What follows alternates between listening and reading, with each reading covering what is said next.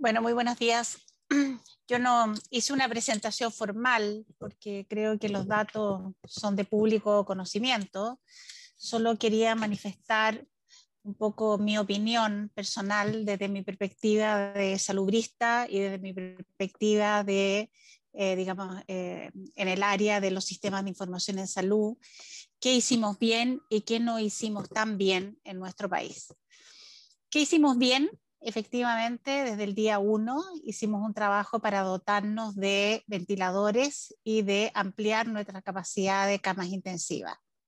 Efectivamente, eh, el gobierno dice que nunca tuvimos el dilema de la última cama. Yo no estoy tan segura de eso. Yo en ese momento de la primera ola era mm, la directora de una clínica muy importante que se abrió a recibir pacientes del área pública y todos los días teníamos que rechazar pacientes que querían ser derivados porque no teníamos camas disponibles.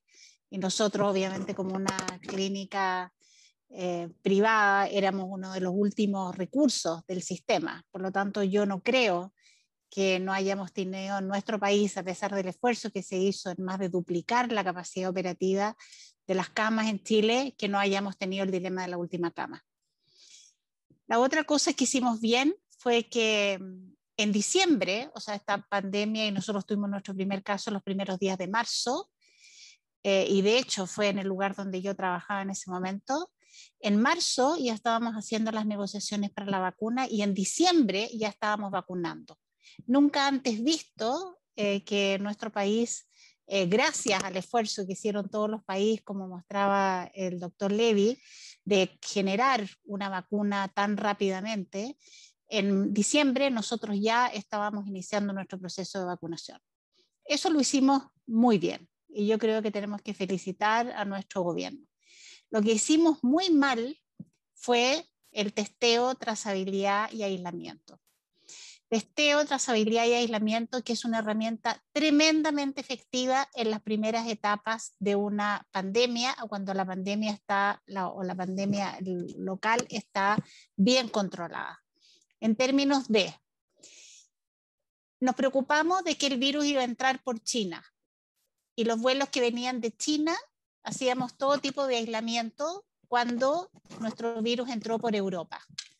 Sabíamos que en Europa había un gran problema en términos de, eh, digamos, de la, estaban en una gran ola de la pandemia. Y, nuestro, y nuestros compatriotas viajan preferentemente a Europa más que a China.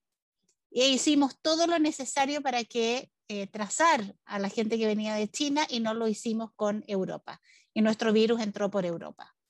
Las personas que primero entraron a nuestro país eh, con, digamos, y que se diagnosticaron con COVID eh, positivo, no, nos, no, no, no los aislamos y permitimos que visitaran a sus abuelos, estoy hablando de casos reales, que viajaran en avión que participaran en fiestas, eh, etcétera, etcétera, etcétera, porque fuimos tarde con eh, la trazabilidad de esas personas y de sus contactos. Recién 10 meses después de iniciar la pandemia, abrimos, eh, ocho meses después, abrimos el concepto de residencia sanitaria, cuando los casos activos eran mucho más que la capacidad de nuestra residencia sanitaria. Cuando teníamos mil casos activos, 500 eh, casos activos, la residencia sanitaria habrían sido eh, una muy buena estrategia para aislar a los casos y a sus contactos. Hasta octubre del año pasado, las instituciones de salud, como la que yo me desempeñaba, todavía mandaba planillas Excel con los resultados de los exámenes. No teníamos sistemas de información que permitieran que el, el Estado o el encargado de la trazabilidad tuviera acceso a esa información en forma rápida y efectiva. Y además, un error estratégico de haber dejado en manos de la Secretaría Regional Ministerial la trazabilidad de los pacientes COVID en una oficina en el centro de Santiago con cuatro profesionales y no haberla encargado a la red de atención primaria que es muy, muy difundida en este país. Por lo tanto, cada uno tuvo que arreglárselas como pudo y efectivamente perdimos el control de los casos y los contactos hace mucho tiempo, habiendo tenido la posibilidad de tenerlos desde el día 1.